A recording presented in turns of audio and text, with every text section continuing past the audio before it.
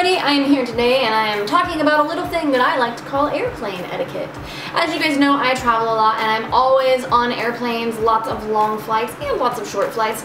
And there are a lot of things that I have noticed in my travels that are bad airplane etiquette. So I thought I would spread the gospel and offer you some helpful tips when you are traveling via an airplane. So the first one is when you are boarding. Be very aware of your bags. Some airplanes, the um, flight attendant at the front of the plane will actually make you take off any bags that you have on your shoulders. Because if you do have a bag that is over your shoulder and it's bulky, when you're walking down the aisle, you might not even know it, but you're probably hitting all the people that are already sitting in aisle seats. So be very aware of your luggage if you're pulling it, if it's over your shoulders, that you're not just like whacking people. I've been whacked in the head so many times by people walking by, or like somebody's holding a bag or has a backpack and they turn to talk to the person behind them and they just kind of smash your face off. So here's one thing that I find interesting when I get on an airplane.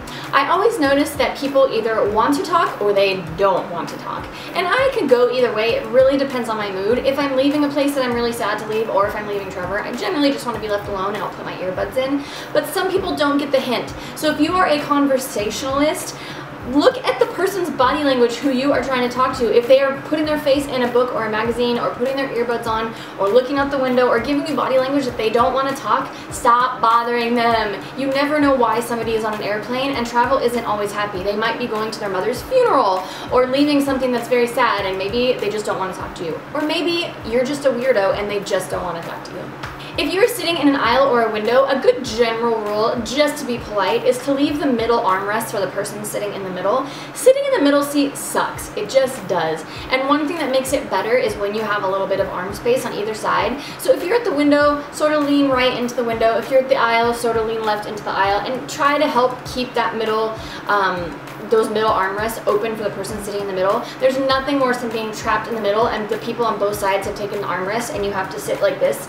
the whole time, especially when you're on a long flight. Really lame. I was on a 15 hour flight from Los Angeles to Australia and a very nice man sat next to me and that very nice man took off his shoes. And when that very nice man took off his shoes, he had very stinky feet, like the worst. I mean, I'm telling you, they would wake me up from a dead sleep when he would move because it would waft the foot stink up to me. It was horrible. Listen, I get it when you're on long haul flights, you want to take your shoes off and be comfortable, but for God's sake, use odor eaters, put plastic bags over your feet. I don't care, but stinky feet are the worst. Along with stinky feet goes stinky food. Trevor was actually on a flight and the guy next to him opened a hard-boiled egg and a Slim Jim back to back. So be aware of what you're eating. If you're eating anything that is really strong smelling, anything with onions or um, just anything that has a very strong smell, especially for people that are sensitive to smells, it's just really unpleasant, especially food smells. Not fun. And along with that goes perfume do not wear perfume when you're going onto an airplane. You are essentially in a tiny metal tube.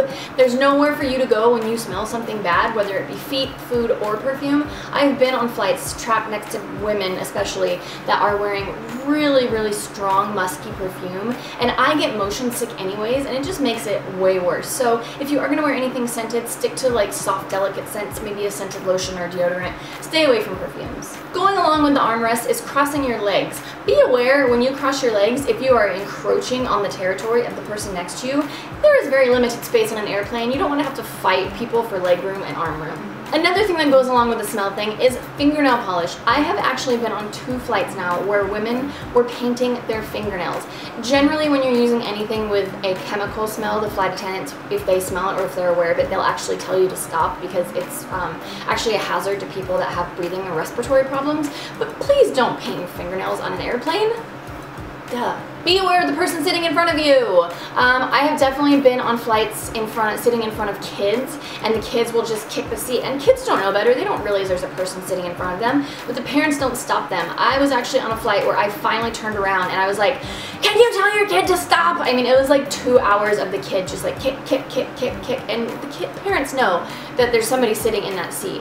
So um, kids aside, just be very aware when you're doing anything that's going to move the seat in front of you, whether it's tapping on the screen. Sometimes there's movie screens on long haul flights or international flights, and sometimes people get really aggressive with that, not realizing like there's a head in front of that screen that's being moved, or when you're opening and closing the trays, don't slam. Just be very aware that there's a person sitting in the seat that's attached to your entertainment system and your trays. Another little bit of seat etiquette advice is to actually raise your seat during meals. So on short flights and most domestic flights, you won't be served meals if you eat. It's kind of on your own time at your own pace. But if you're on long haul flights or international flights, generally they'll serve you breakfast and dinner or whatever the two meals are that are in that time frame. So when they actually bring the cabin lights on and everybody gets served their food, just raise your seat. I mean, unless you're like dead asleep and you don't know what's going on, that's fine. But if you are awake, even if you're not eating, raise your seat so that the person in front of you doesn't have a seat in their face when they're trying to eat their food. Another one is sounds. I have been on flights next to people that have been playing iPads or phones or laptops that didn't turn the sound off of their phone.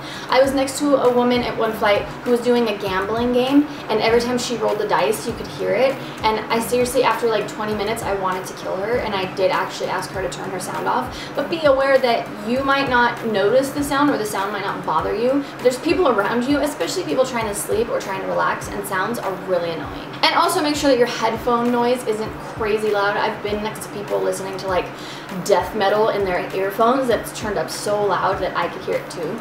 The last one is about deboarding. Now getting off of a plane is kind of like merging onto a freeway so it should be the zipper, zipper method. So it goes row, row, row, row, row, all the way back. It's so weird. Some airplanes I get off of, everybody gets it and it's cool. Some airplanes, it's like every man for himself and everyone's trying to get off all at the same time. You just let people get off of the airplane in an orderly fashion, it's so much easier and it's more polite. So basically the moral of the story with airplane etiquette is don't be an asshole. I know, it's a crazy concept. Just think about the people around you, think about what you are doing to disturb the people around you, and just kind of don't be an asshole. It's pretty easy. Anyways, I hope you guys found this useful. I hope that you guys have good flights in your future and that you are not surrounded by airplane assholes. And um, if you guys have any other video ideas, definitely leave them in the comments below. And if you guys have any other airplane etiquette suggestions, leave them down there too. I tried to cover everything, but I always missed stuff. So anyways, I will see you guys in the next one.